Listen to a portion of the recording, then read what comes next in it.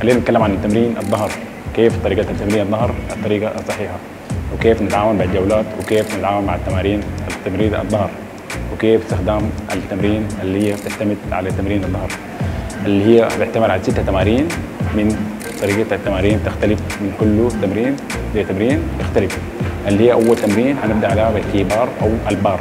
هي باعتبار أربع مجموعات في 10 أو 12 أو 15 كيف نتعامل مع التمرين وكيف طريقة الاستخدام بالبار.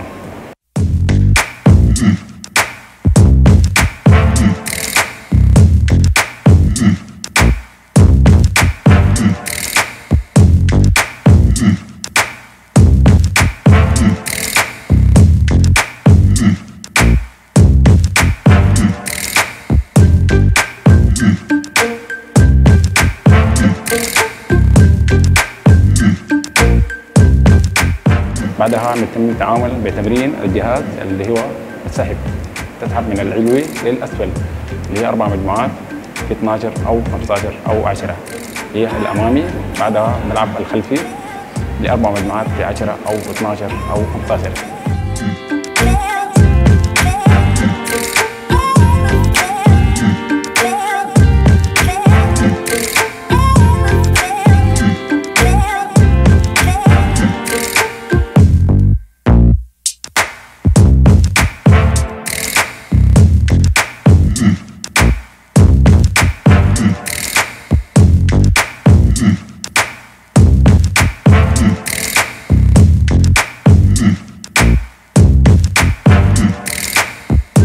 بعدها بنتحول لتمرين السحب اللي هي بتعتمد على الجهاز من أمامي للخلفي. تعتمد على استخدام العضله الكامل للظهر في أربع مجموعات في 10 أو 12 أو 15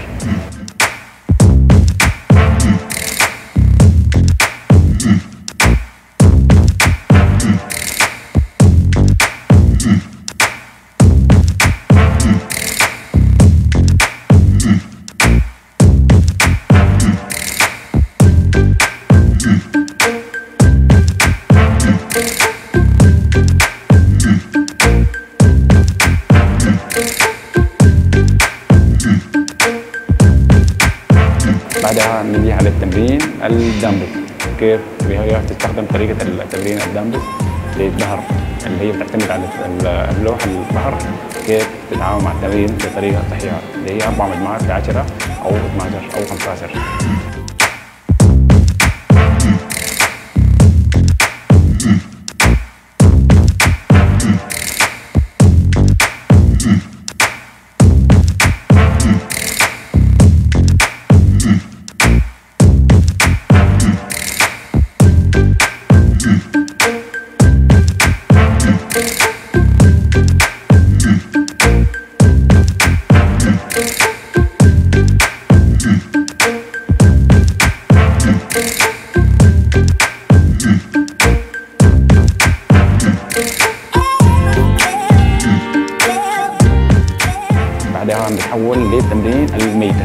اللي هم تمرين لا لأي لاعب ولا تام. بتستهدف على العضلة الميتة بطريقة يكون كيف تتعامل معها اللي هي أربع مجموعات في 10 أو 12 أو 15 بعدها كيف طريقة التمارين.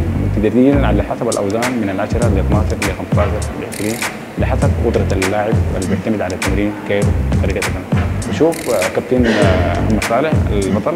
كيف يورينا طريقة التمارين للظهر كيف طريقة التمارين وكيف يسوي التمارين وكيف إنه يورينا طريقة الصحيحة في التمرين الظهر